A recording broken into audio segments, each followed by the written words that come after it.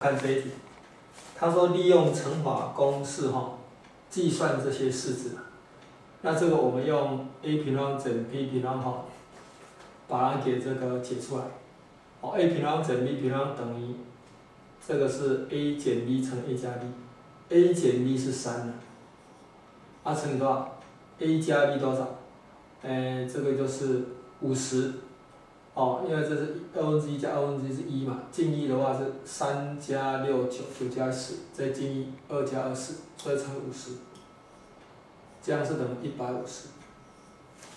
好，再来看这个，这个我我把这个看成 a，把这看成 b，那这 a 平方减二 ab 加 b 平方，所以是 a 减 b 的平方。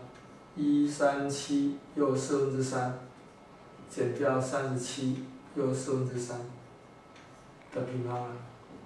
好，把这三十七又四分之三消掉，就变成一百，一百的平方，所以是一万。一、一、二、三、四，一万。